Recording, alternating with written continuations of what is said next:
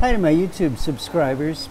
Well, thanks to those of you who informed me of the announcement by the Thai government that the Thai 60 day visa exemption is now set to begin this Monday, July 15th. So we can all give a collective cheer. Now, the question is who won the Guess the Date contest?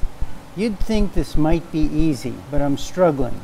Well, five days ago, Raynell Lynnea said, No need to guess, it's July 15th.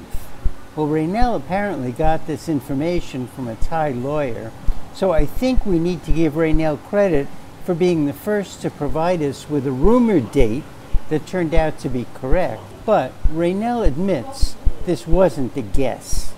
On that same date, Rouge Moonchild guessed July 19th. So I'm going to assume that was a legitimate guess.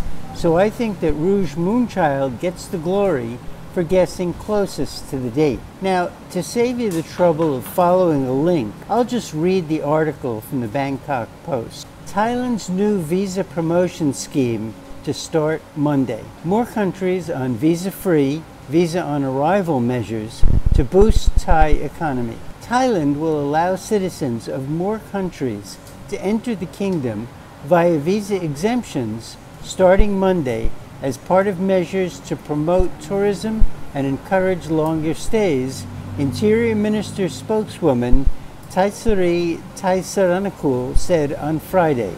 Ms. Traisuree said Interior Minister Anutin Charviranakul signed four documents to ease travel for foreigners, all of which will take effect on Monday, pending their announcement in the Royal Gazette. The directives include a new list of countries eligible for visa free entry into Thailand, increasing from 57 to 93.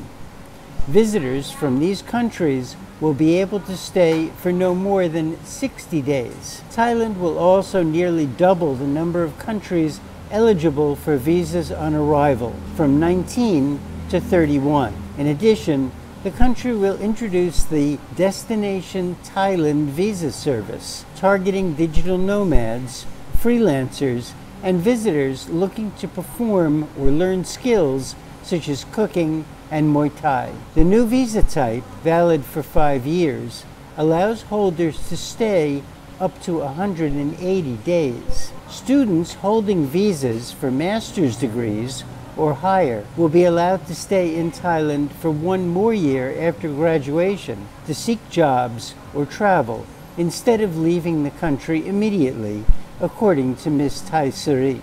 The new measures follow the Cabinet's resolution in principle on the matter in May to stimulate the economy and tourism. The announcement was delayed from the original plan to unveil it in June. Okay, so that's the article from the Bangkok Post. And of course, all of this is based on the assumption that the new announcement won't be modified.